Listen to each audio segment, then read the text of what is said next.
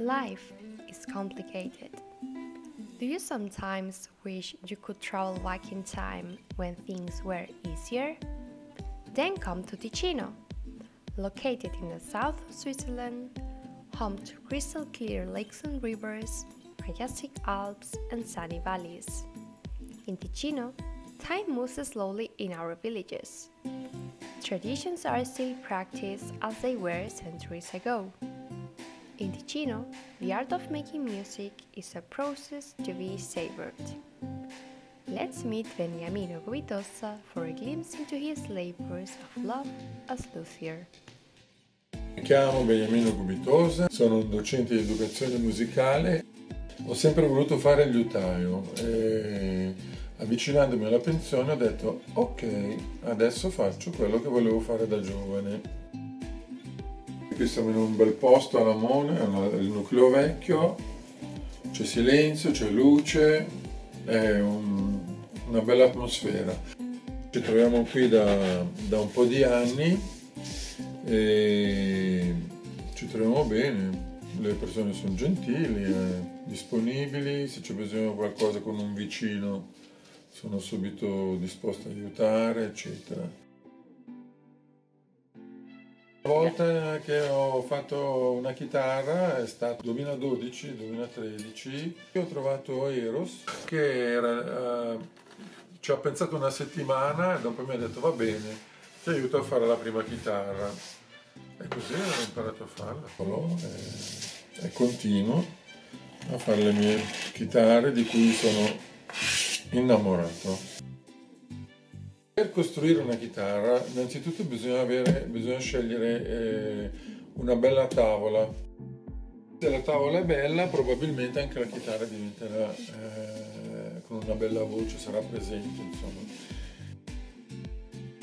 Dopo aver scelto la tavola si sceglie il legno da mettere sul fondo e sulle fasce che può essere un legno indigeno, qui di lamone o di bellinzona o il ciliegio, l'acero, il noce, questo è un frassino per esempio.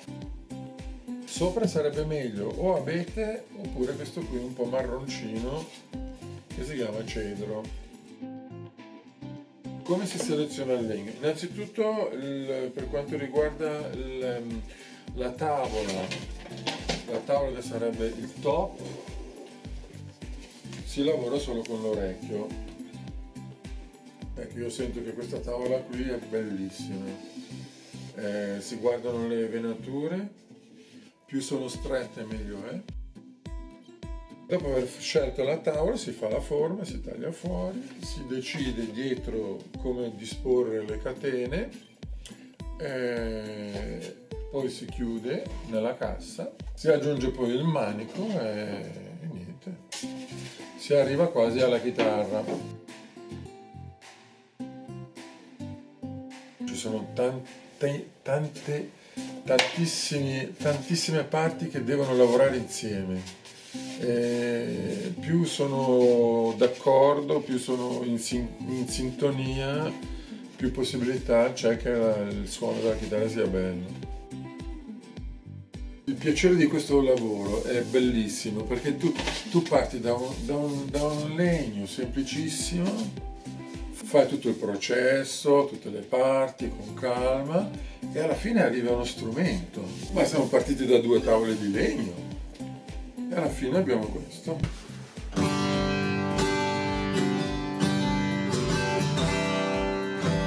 È come un viaggio dove non sai mai dove vai a finire, appunto perché non sai mai, finché metti le corde non sai quale potrebbe essere la voce dello strumento. Faccio questo perché so che con, eh, oltre a soddisfare il mio piacere purissimo, il, il, viaggio che faccio per arrivare al risultato, io do questa chitarra a qualcuno che suona, che darà poi una felicità, una gioia a qualcun altro che ascolterà, non so, o, o che darà a lui o a lei la possibilità di esprimere i propri stati d'animo oh, so io, so che è un buon contributo per la società. Costruire le chitarre mi ha insegnato certamente di non avere fretta, non avere fretta nel fare le cose e fino a un certo punto se c'è un problema si trova sempre la soluzione. In un contesto come il Ticino fare il lavoro del liutaio, cioè costruire gli strumenti così, per vivere è molto difficile. Bisogna, conosco diversi liutai che in Ticino saranno 4 o 5, eh, di chitarra ne conosco almeno, almeno 3. Per il Ticino non è un mestiere per vivere con una famiglia, eccetera. Ma se non ci fosse il liutaio che crea gli strumenti per fare musica, e, eh, e questo è veramente uno step importantissimo creare gli strumenti. Ci vuole prima un artigiano che prepara lo strumento. What would be music without artisans that create instruments? Thanks to them, we can travel back in time to an easier time.